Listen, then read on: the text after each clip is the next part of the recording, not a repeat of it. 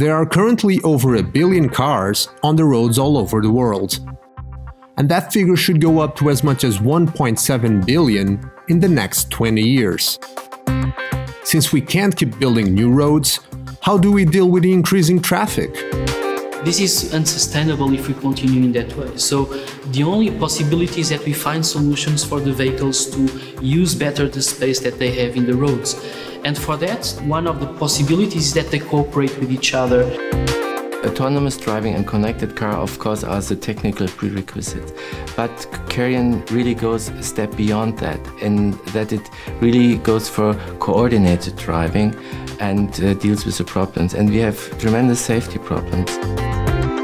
If we are moving to a sense and avoid paradigm, we need to rely on the information the sensors provide us.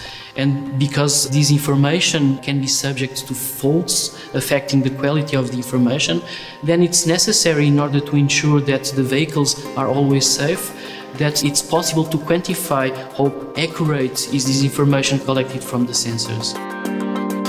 The safety kernel is a pretty simple thing which just contains a set of statically compiled rules, and these rules are proven safe at design time, can be applied at runtime. One of the main contributions of the KARYON project is the fact that it provides a new way of engineering these future cooperative systems.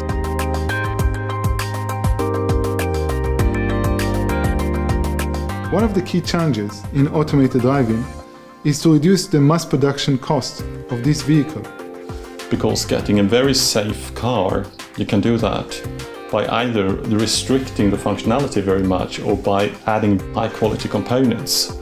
And we are doing here concepts where you can balance this. You can use commercial available sensors and communication components and still being able to build something that will be safe.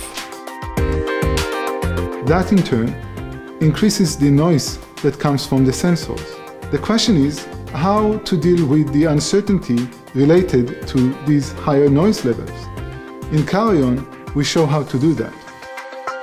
Safety requires the system to work in almost 100% of the time. But what if your cooperative functionality works only 99% of the time?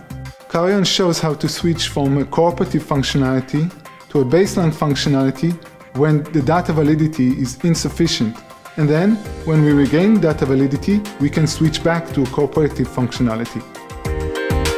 So you will get safety at a cost that is affordable.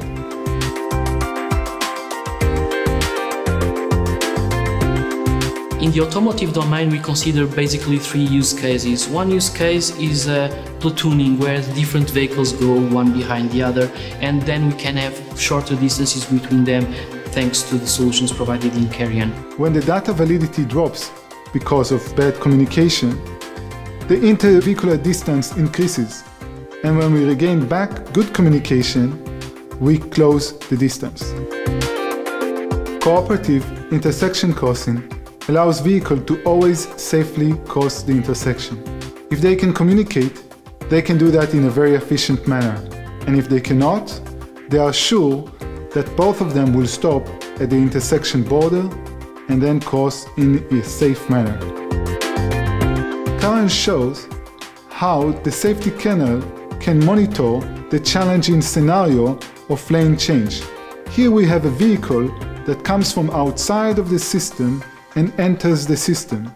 Notice that we have to deal with complications such as different level of service and vehicles coming from different direction and want to join the platoon.